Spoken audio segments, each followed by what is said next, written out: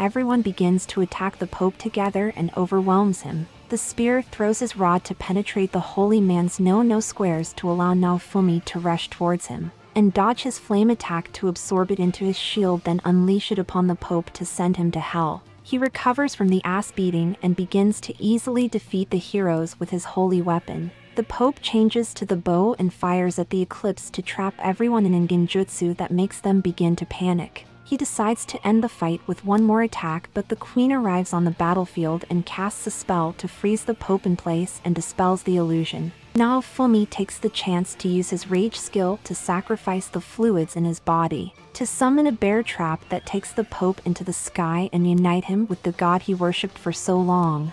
The sanctuary begins to fall apart as the queen arrives to arrest the defeated worshippers, but they see that Naofumi is still suffering from the recoil of his skill. He awakens in a room surrounded by his harem and discovers that he has been asleep for three days but he won't be able to fight for a month. The queen enters his room and thanks Naofumi for all he has done for their kingdom, but he reveals that her country hates him. She explains that each of the four regions was supposed to summon one hero to fight the waves, but while she was away the kidnapper king summoned the heroes by himself. And this forced her to travel to the other regions to stop them from starting a war with her nation. He asks why they despise the shield and she says that each kingdom views the heroes differently, such as the demi-human region who worships the shield like a god. Naofumi plans to travel there but the queen tells him to wait until after she clears his name before he leaves their kingdom and rewards him with a bag for all his hard work.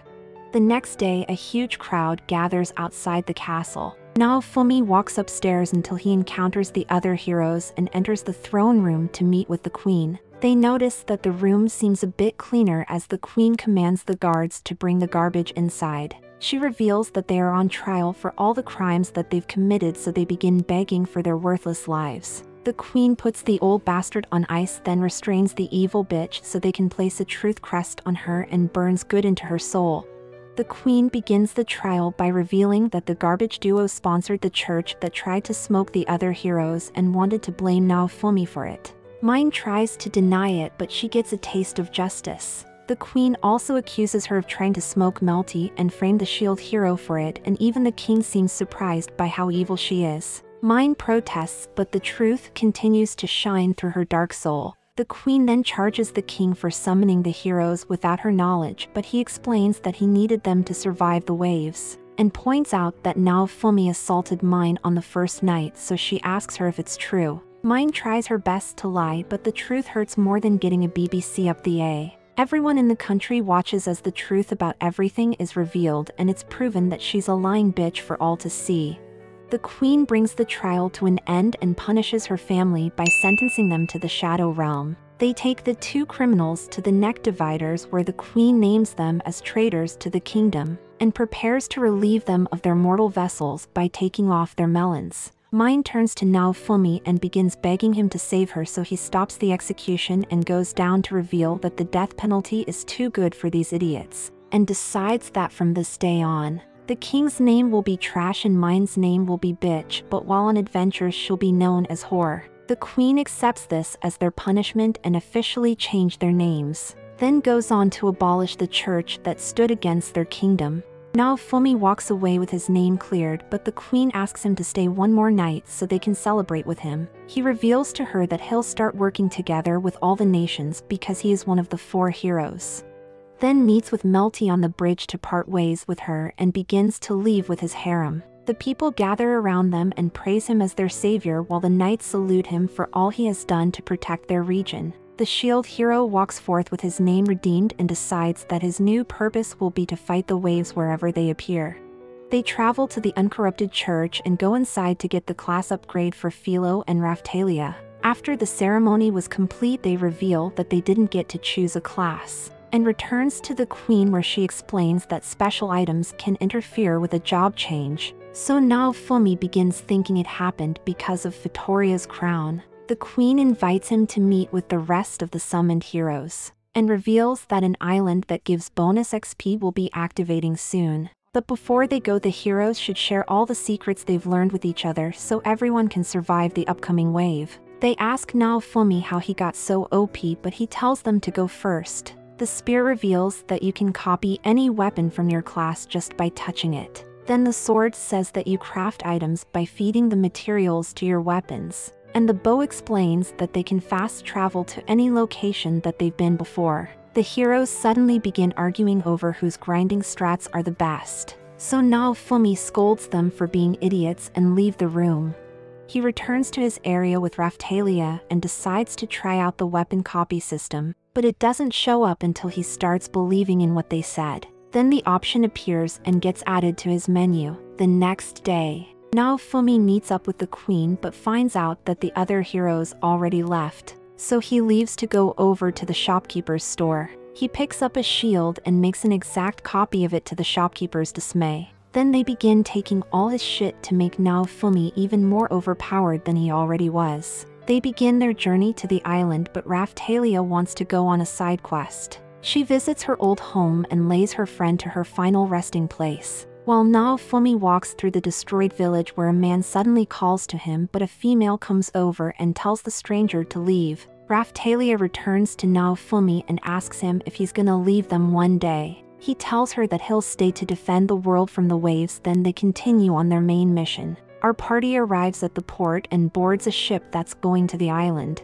They see the adventurers they met before and introduces themselves to each other, but they don't believe that Naofumi is the shield hero because they heard that he's a scumbag and decides to work together to grind levels. They go up to the deck to see the other heroes suffering from being a pussy. He tries to tell them what he found out, but they refuse to listen. The adventurers comes over to Naofumi and asks him to craft an item out of gems for them so he decides to take on the job. They arrive on the island and begins to massacre all the harmless creatures that's going about their day. But the monsters stop giving them XP as the other heroes come over and reveals that too many people are hunting in the same area. They begin arguing over who should stay so Naofumi leaves and heads over to another dungeon. Our party begins hunting bigger monsters to get more XP but Raphtalia shows that their weapons are almost destroyed. So Naofumi goes over and tries out the crafting feature to create new weapons for them to use in combat. In the night, they begin gathering all the items they found where Naofumi reveals that he still feels weak after defeating the Pope. The adventurers comes out of the forest to call them back to the main island so they decide to stop grinding for today. On the island, everyone begins drinking together while having a party, and for the first time, Naofumi finally feels like he belongs. The next day, Naofumi gives Therese her accessory, and she begins crying from how beautiful it is. She pays him with a bag, and they begin traveling to another dungeon to hunt animals together. They find penguins with missing chromosomes and start to slaughter the fugly looking mofos. Therese begins chanting to unleash the power of her gem to cleanse one from this world while everyone else continues to slaughter the poor bastards. They encounter the mother of the fugly babies so Naofumi decides to go out and call over the physically challenged creatures, allowing Therese to give them all the smoke but Naofumi was healed from the flames instead. Then everyone goes and takes Mama Fugly down. They go back to the main island and part ways with the adventurers but Naofumi decides that he'll ask them to join his party the next time they meet. They head to the beach to enjoy the day, but Filo comes over and tells Naofumi that she found an underwater dungeon. Our party begins swimming down in perfectly normal clothing until they arrive at the entrance and opens the giant door to find a platform floating inside. Raphtalia uses her light magic and they see another dragon hourglass that begins counting down for the next wave that will appear in two days.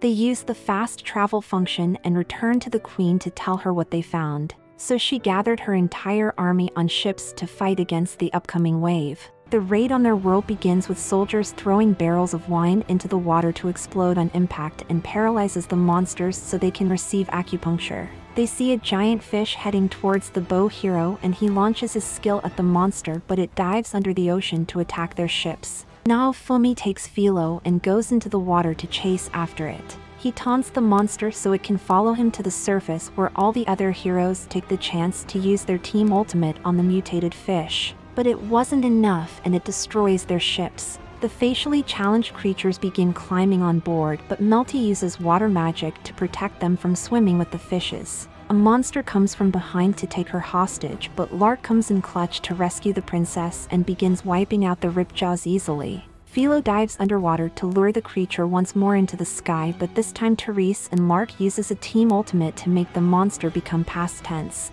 Naofumi goes over and thanks Lark for his help while the other heroes comes over to collect the loot they didn't work for. Lark begins scolding them for being weak pieces of shit and blows them off with one swipe of his scythe. He reveals to Naofumi that they're also heroes like him but from the other side of the wave. And for his world to survive he must take out all the heroes of this world so the monsters can destroy it.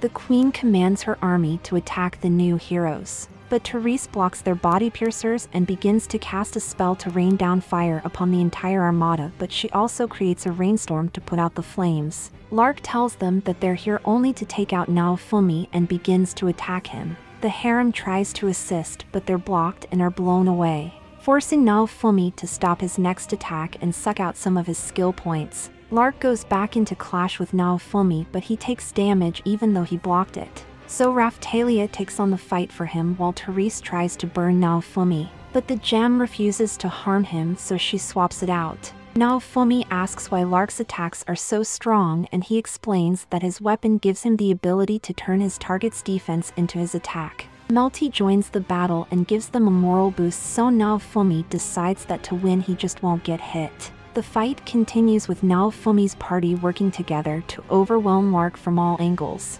until he gets hit by the prison duo combo attack and gets pushed against the air shield so Raphtalia can strike him down but Therese saves him at the very last moment. They begin to have a standoff, but Glass joins the battle to face Naofumi with them. She starts off by using an attack that manages to push him back then follows up with sniper shot but he tanks all of it. So she begins attacking up close but when she sees the Gok Gok shield she chooses to run away. Therese begins chanting to use a team ultimate with glass so Naofumi creates a shield to block the onslaught of their combo attack. He tells his party to let him fight Glass alone while they hold off the other heroes and leads her away to another ship.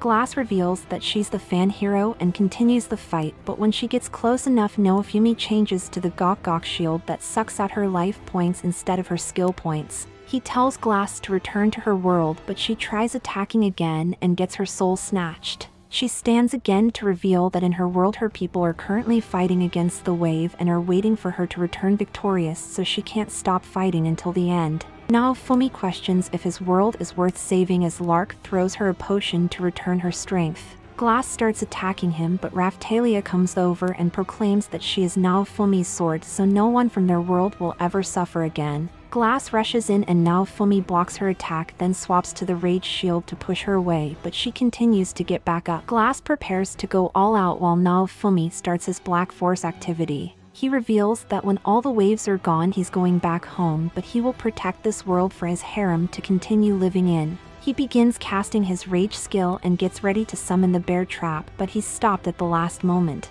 A knight launches barrels of wine at them for Naofumi to destroy and make Glass intoxicated. He walks over to the defeated Glass, but Lark and Therese arrives to reveal that the wave time has ran out. So they begin to be transported back to their world. Like for a cat girl, subscribe for a waifu, and remember to stay swifty. Ooh.